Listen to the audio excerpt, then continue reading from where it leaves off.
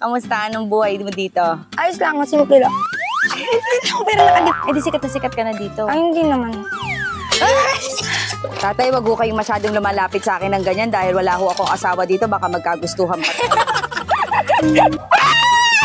Manloloko ka! Manloloko ka! Sabi mo ako lang man! Galit na galit.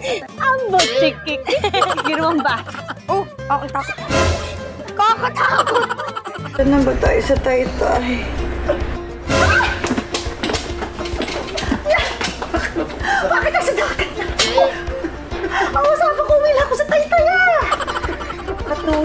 Kasi ako. Ay, netizens, nandiyan pala kayo.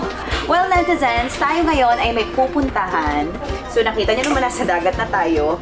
Dahil tayo ay tatawid ng Batangas papuntang Mindoro dahil tayo ay bibisita sa ating kaprobinsya.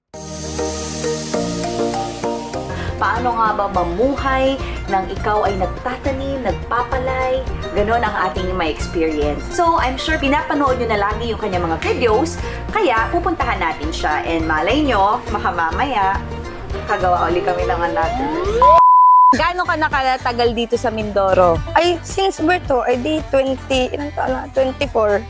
Ah, so, ni- never nyo na-experience tumira sa Hindi ano, ho. Maynila. Buong buhay mo dito ka. Ang tatay at nanay mo, taga saan? Si nanay ho ay taga Marinduque, si tatay taga dito ho sa mundo. Tao po! Pabili hong yelo. May doorbell ho dyan. Ay, saan ang doorbell?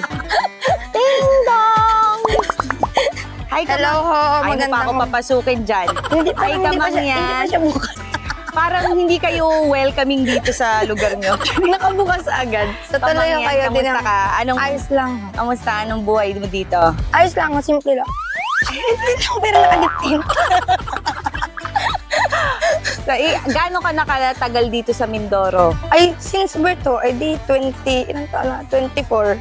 Ah, so, ni- never nyo na-experience tumira sa Hindi ano, ho. Maynila. Buong buhay mo dito ka. Ang tatay at nanay mo, taga saan? Si nanay ho ay taga Marinduque, si tatay taga dito ho sa mundo.